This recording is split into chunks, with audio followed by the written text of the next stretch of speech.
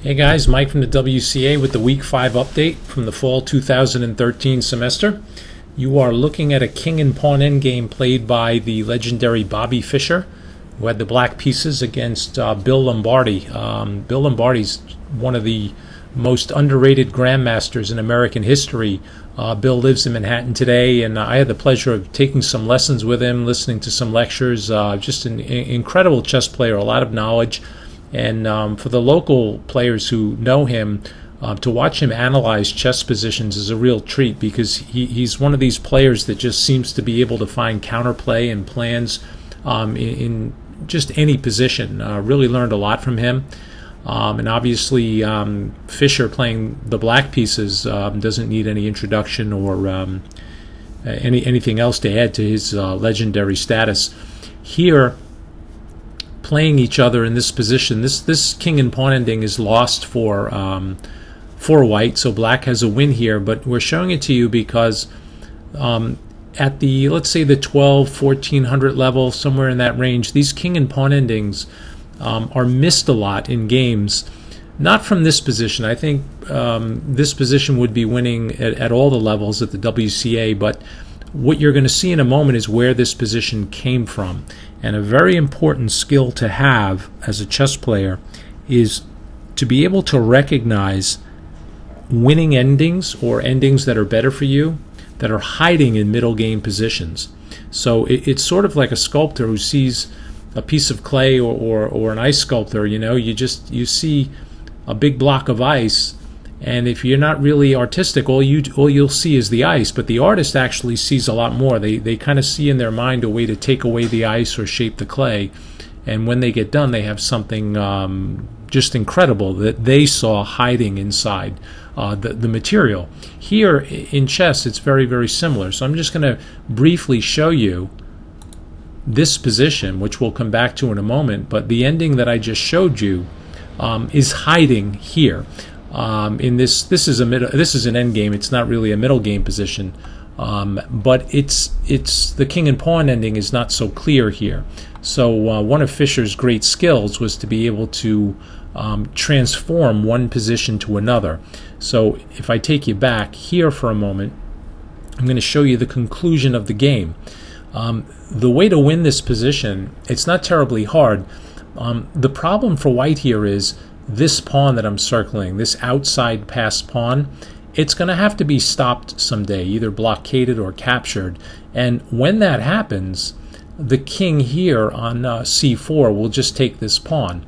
And this king is going to be on this square or this square uh, when it takes this pawn. If that's the case, then you'll see there's no way for the white king to trail the black king and stop him from taking these pawns. And once he takes these pawns, this is going to be way too fast to stop, and uh, you'll have an easy win. So it's because the pawn is so far outside that creates the problem for white. And it's funny, um, try to remember this. In the end game, your outside pawns can be worth a whole lot in the opening, the wing pawns, the, the A and the H pawns, tend to not have as much value. I mean, they're useful for kicking away bishops that are pinning you and making escape squares for the king, but they, they don't often have as much say in the middle game as the other pawns do. Uh, your two center pawns are, valuable at all stages of the game, but I, I'd like you to keep in mind how uh, important it is to have these pawns at the end of the game, especially if there are just kings on the board, because the king is is a relatively slow piece. It's powerful. Uh, you can see this king here on b2. It is controlling eight different squares. Um, the problem is it's not able to get from one side of the board to the other very uh, quickly. So if it has to stop an outside pass pawn, when it finally does, um, it, it, it, very often is out of play, as it is in this game. Okay, so the conclusion to this game, um, Fischer just played a4, and uh, White is in real trouble. He could try to go to c2 and uh, protect his pawn again, but then Fischer's just going to keep pushing, and at some point, just get this pawn. And if you come after the black pawn, he just goes after yours, and there's no way to uh, to hold this position. White's going to lose everything here. Um, so that's why back in this position after a4, um, Lombardy just decided to go straight away for the uh, for the black pawn. So Fischer took on c3, white takes on a4, and you should be able to follow all of this um, without a chessboard. Although I would recommend um, that you set up the original position uh, when you see it in a moment on your board. So here, um, white resigned. As you can see, there's no way to stop uh, black from taking that pawn on f3. Okay, now let's go back to the position I showed you before, which is here. Um, white's 30th move in the game was rook e1, right here. This was white's last move. And let's start with a little set position analysis. And remember, the first thing we always do is count material. And you'll see that Fischer is up an exchange. And we've mentioned that simply means having a rook for a minor piece. So he's up in exchange. There's a rook here and a rook here, but black has the advantage of rook over bishop here. White has one extra pawn. You'll see they have six pawns and black only five. Um, so in terms of material, black is up a point. There are some other um, considerations, obviously, uh, besides the material, but a good rule of thumb is do material first it's simple. If you're in a classroom, uh, any of the coaches that are listening, we, we always remind them to do material. Um, even even in slightly advanced classes, just do the material because what happens there is you um, you very often get someone who might not be so active in conversation to raise their hand. And um, as teachers, we always feel it's important that students hear their own voice in a classroom setting and it, it, kind of connects them to the process. If you stay quiet the whole time in a lecture, and I, I think this goes for adults as well, um, you tend not to get as much out of it. But once your own voice is included, you're kind of vested into what's going on and um, you get more out of it. So, anyway, after the material, um, you're, oh, and one other thing here when you count material, um, this is this is good for the coaches who have uh, tournament players as students as well you force yourself to look at the entire board. So counting material is such a simple process. You're just adding up points, but your eyes literally have to travel over the entire board to do that. It's a good way to kind of take in um, what's going on. Okay, so after that, we get involved with uh, things like king safety. And in the end game, it is very rare that a king will get mated. Uh, although it is possible, you can walk your king into a box. Like you can see, the white king is kind of boxed in here a little bit, but there are squares on the outside behind him to get away. So, um, in terms of a mating attack, it's not going to happen here. So, king safety, as you get to these endgame positions, begins to get replaced with king activity. Um, the, the king's safety is really not an issue unless somebody queens. So, here, maybe both kings can be considered equal in terms of uh, what they're doing. It's obvious that both of these players have activated the kings, right? Okay. Um, What's next? Well, the bishop, in terms of piece activity in general, the two white rooks are on open files. So if we asked uh, students in the class how many open files are there in this position, the answer would be two. Um, this file here, the A file, is only half open, and it's half open for white. And what that means is when they say half open, it means the team that does not have a pawn on it because they're most likely going to be able to utilize or use the squares that their pawn left behind. So this pawn here on b4 was an a pawn earlier in the game and now it's on b4. So that opens up space for the white rook. But the file is only half open because black has a pawn on it. This is a closed file. This is an open file, and a lot of uh, new students get confused and say it's not open because there are pieces on it, especially this bishop blocking the rook. But that piece can move at any time, so this file is considered open. Pawns can't just jump out of the way. Uh, you, normally, you have to make a trade, so that's why they will say this file is completely open, even though right now there's a white bishop uh, temporarily blocking it. You can see this is an open file. The rest of the files are, uh, are, are closed, although here you can technically say this is half open for black. Okay, um, in terms of structure, the pawn structure, um, you may say that black's is better. Each team has two pawn islands, and islands uh, of pawns are defined really by whether or not pawns are connected, either on the same line or on adjacent files. So here, this pawn is connected to this pawn here on F3 because they're on adjacent files. At any point, this pawn could move and, and protect this pawn here. So these four pawns are considered one island, and these doubled pawns here are considered uh, considered one island. These are really weak pawns uh, because they can't protect each other. Uh, how many pawn islands does black have? They also have two. These are connected, and so are these three. Um, at the, at this point, especially in the end game, when you start to um, analyze these positions, I highly recommend that you set this position up on your chessboard. Put the black uh, notation numbers in front of you. That's the 7 and 8 here in front of you. Set the position up exactly as you see it. And then um, you can put your head down, listen to the voice, uh, uh, my voice on the video, um, and then try to pick up the squares when you hear the names without looking at the notation lines.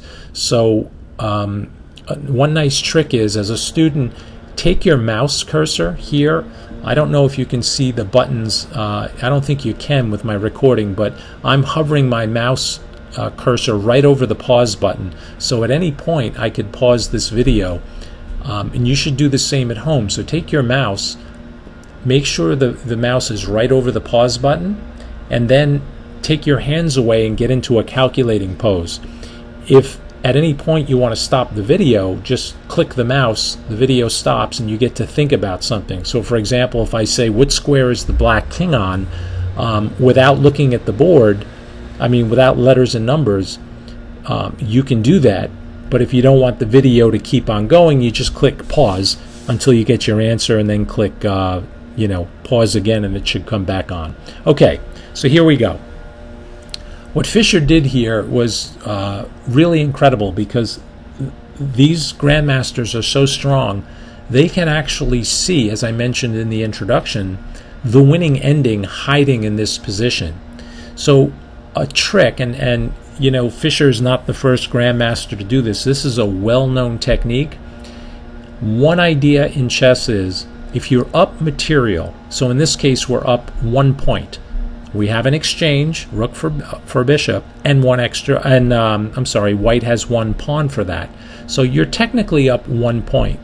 What Fischer did here is he saw that he could give back the exchange. That's the rook for the bishop. Win the pawn back.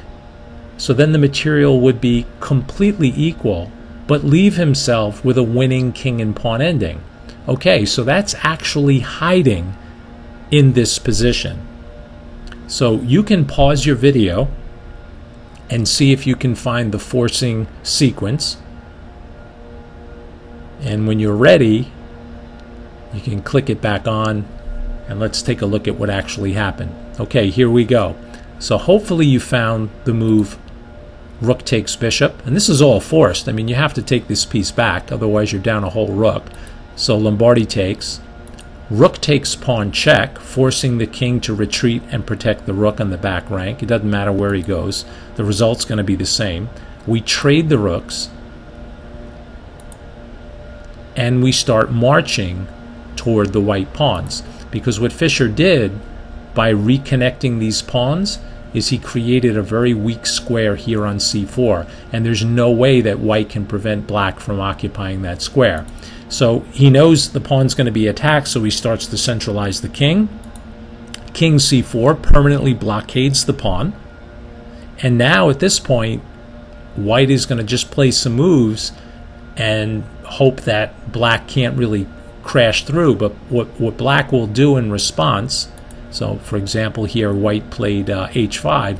What Fischer does is he just starts making pawn moves that don't commit anything yet. He's just telling White, well, you have to move something. And every time you move, then I'll improve my position. And that's exactly where we are now. So um, White played king to c2 and now g5.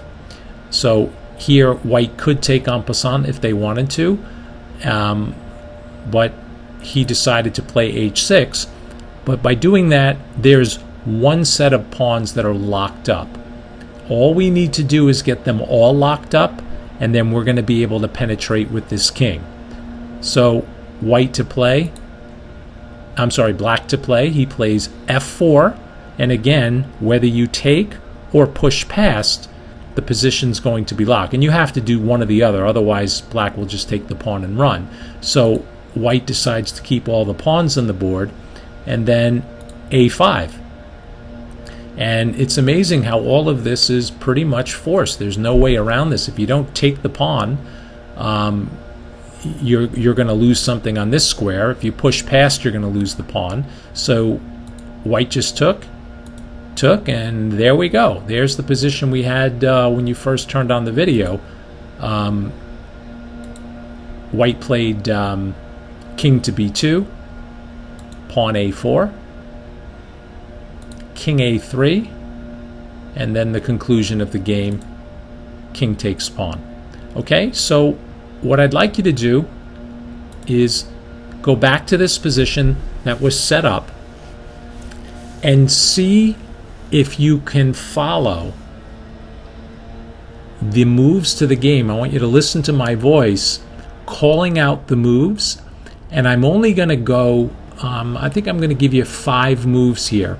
And I want you to do your best to visualize the position uh, in your head. So you, you look at the pieces, but don't move them. So in this position, we have rook takes c3 check, pawn takes rook, rook takes pawn on e5 check, king d2. We trade rooks at the top of the board on e1 king takes back, king d5, king d2, and then king c4. And when you're done, take a look at the board now, or the video now, and see if that position is what you have in your uh, you were able to see in your head. You can rewind this, go back to the uh, part of the video where I walked you through these first four or five moves, and you can keep repeating that. It's a great exercise to uh, improve your calculation. All right, hope you guys enjoyed the video. We'll see you in class on Sunday.